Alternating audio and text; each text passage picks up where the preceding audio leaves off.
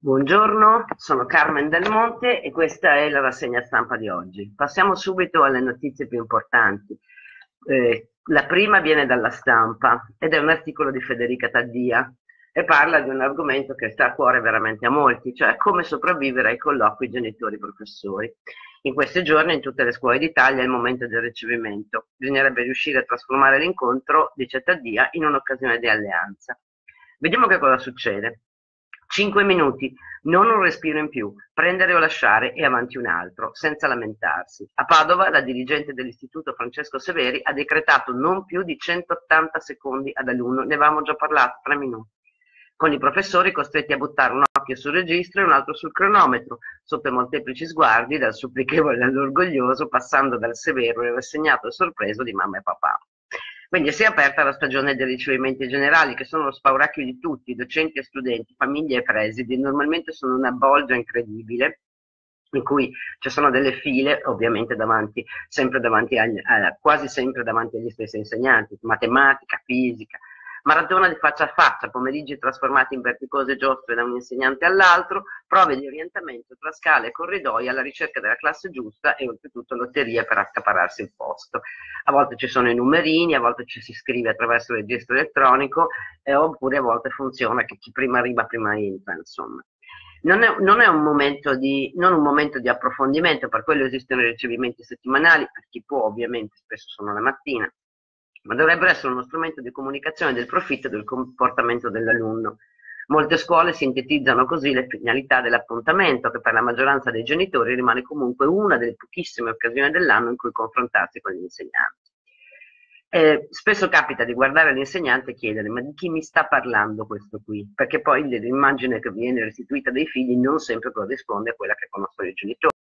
Ci si può porre di fronte a questo spaesamento in due modi ai nostri figli che magari all'esterno si comportano in maniera diversa da come li conosciamo noi e questo fa parte del normale processo di crescita e della volontà di rendersi autonomo. Oppure rifiutare queste immagini con la scusa che l'insegnante solo noi sì. Per dire la verità, non, anche questa è una, è una, è una frase ai mondi.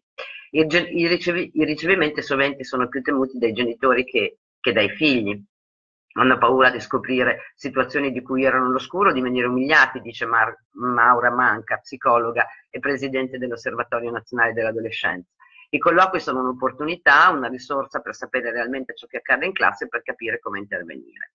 Ovviamente non bisogna farsi assalire dai sensi di colpa, non aggredire gli insegnanti, non mettersi in competizione con gli altri genitori, neanche solidarizzare troppo o troppo poco con i figli, dando sempre il loro torto o sempre la loro ragione. È una è districarsi in questo mare di, di consigli che, sono, eh, che si contraddicono l'uno con l'altro, è, è decisamente difficile c'è eh, una dichiarazione di un docente, un'affermazione di un docente che dice, Enrico Galliano, che dice anche per noi è un momento delicato, abbiamo il privilegio di osservare giorno per giorno i ragazzi e di restituire quello che vediamo è un compito denso di eh, responsabilità. Per instaurare un dialogo costruttivo è fondamentale iniziare dagli aspetti positivi. Se parto dalle critiche, i genitori si sentono immediatamente giudicati, c'è il rischio di inquinare la comunicazione. E questo è una cosa che mh, effettivamente spesso lo dico con ragione di causa, manca agli insegnanti, cioè la capacità di comunicare durante i colloqui con i genitori spesso la scelta delle parole e la scelta degli argomenti è lasciata in qualche modo al caso o comunque standardizzata. Invece trovare le parole giuste per dire le cose è, è un'abilità che si acquisisce. Nei nostri, nei nostri, corsi per docenti noi riserviamo almeno due lezioni alla, alla comunicazione con i genitori. Eh, credo poi che il docente dovrebbe fare molte domande per avere un quadro più completo e sfaccettato della persona che ogni mattina si trova davanti. Chiaro che se ci sono 5 minuti, molte domande non si possono fare.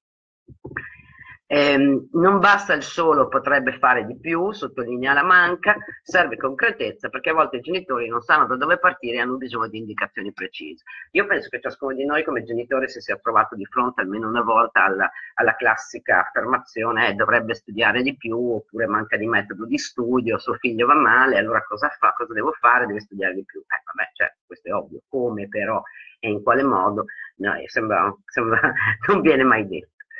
Passiamo al secondo argomento di oggi, il caro università. Allora, c'è il rapporto Euridice del 2017 in cui la Commissione europea mette a confronto i costi di frequenza e gli aiuti agli studenti in, in tutta Europa. L'Italia è al terzo posto come costi, subito dopo l'Inghilterra e Galles, dove le rette hanno raggiunto la cifra record di 9.000 sterline l'anno, circa 10.000 euro, e l'Ulster dove vanno fra i 3 e i 5.000 euro. In Germania nei paesi scandinavi le università sono gratis, così come in Grecia e in Scozia. In Polonia, Repubblica Ceca, Slovacchia e Slovenia sono quasi nulla, si pagano meno di 100 euro l'anno e in tutti gli altri paesi, Bel, Be, Francia, Belgio, Islanda, nei paesi dell'ex Jugoslavia, in Romania, in Bulgaria, addirittura in Turchia, sono comunque sotto i 1000 euro. Allora, cosa succede in Italia? In Italia è che c'è un combinato tra il caro delle rette e la scarsità dei fondi per il diritto allo studio, che si ripercuote ovviamente sugli studenti che hanno meno possibilità di passare dalla scuola all'università. Solo un universitario su 10 infatti percepisce una borsa di 9,43%. Il risultato qual è? Che 9 studenti su 10 pagano le tasse, che è un record in Europa, le tasse universitarie intendo, che è un record in Europa. Fra questi anche beffa gli idonei non beneficiari, cioè coloro che avrebbero diritto a percepire una borsa di studio in base al reddito, ma non la ottengono perché non ci sono abbastanza fondi a disposizione. Se fosse un aumento dei fondi per le borse di studio, essere, questo gap potrebbe essere ridotto. Tra l'altro sottolineiamo che le rette continuano ad aumentare, quindi non solo sono alte, ma continuano ad aumentare. La spesa annua per la, per la laurea triennale in Italia è di 1.316 euro, ma l'aumento più sensibile si è registrato per la laurea magistrale, quindi per il biennio finale, che ha raggiunto la quota di quasi 1.500 euro l'anno. L'ultima notizia di oggi è la risposta a una domanda. Tutti voi immagino abbiate seguito la vicenda del sottomarino argentino, del fatto che non si riesce a trovarlo e a questo punto direi che le possibilità comunque una volta trovato di ritrovare gli sfortunati marinai in vita sia veramente, sia, sia veramente molto esigua. E la domanda eh, e la risposta ci viene da un articolo della stampa, allora perché riusciamo a vedere un asteroide e non vediamo un sottomarino? E la tecnologia ci ha abituato a così tante meraviglie che spesso ci sfuggono i suoi limiti e l'acqua non è adatta ai nostri sistemi di indagine e di comunicazione. Che cosa succede?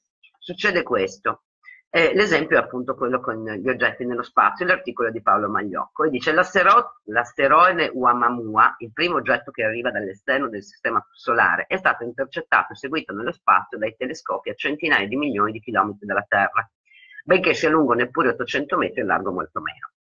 Il sottomarino argentino San Juan, lungo 65 metri, circa un decimo dell'asteroide, risulta introvabile in uno spazio di mare stimato meno di 1000 km di lato e profondo forse alcuni chilometri. L'asteroide in realtà è stato scoperto per caso, però è stato visto da più apparecchi. La ricerca del sottomarino invece ha impegnato migliaia di uomini e unità militari di almeno 10 paesi e nessuno l'ha scovato. Com'è possibile che la tecnologia di cui disponiamo, dai satelliti che sfruttano ogni angolo del pianeta e radar, non sia in grado di capire dove sia? Il motivo per cui risulta così difficile individuare San Juan e il suo sfortunato equipaggio è che la luce e in generale tutte le onde elettromagnetiche sono inutilizzabili sott'acqua a partire da poche centinaia di metri di profondità. Le onde elettromagnetiche infatti vengono assorbite dall'acqua, questo è il motivo per cui da una certa profondità in poi il mare diventa buio. Nell'aria o nel vuoto dello spazio che circonda l'atmosfera terrestre, infine, le onde elettromagnetiche continuano a muoversi a velocità della luce, radar, satelliti, comunicazioni radio, cellulari, telescopi funzionano con le onde elettromagnetiche. Alcuni di questi strumenti sfruttano la luce visibile anche dall'occhio umano, altri come i radar le microonde. Sott'acqua però non funzionano, da un sottomarino non si può telefonare e con un radar non è impossibile individuarli. Non è possibile individuarli. L'unico strumento che si può utilizzare è il sonar, che funziona con le onde acustiche. Radar e sonar sono molto simili concettualmente. Il radar invia un'onda elettromagnetica e vede il segnale riflesso da un oggetto distante anche decine di chilometri. Il sonar invia un'onda acustica e ascolta il segnale di ritorno anche se ha una portata decisamente inferiore rispetto al radar. Un gruppo di ricerca dell'Università della Sapienza di Roma sta proprio cercando di mettere insieme un radar che funzioni anche sott'acqua. Nessuno finora ci è riuscito. Ecco perché anche l'esplosione che si sarebbe verificata nella zona in cui potrebbe trovarsi il sottomarino è stata registrata mercoledì 15 da microfoni situati su isole dell'Atlantico meridionale.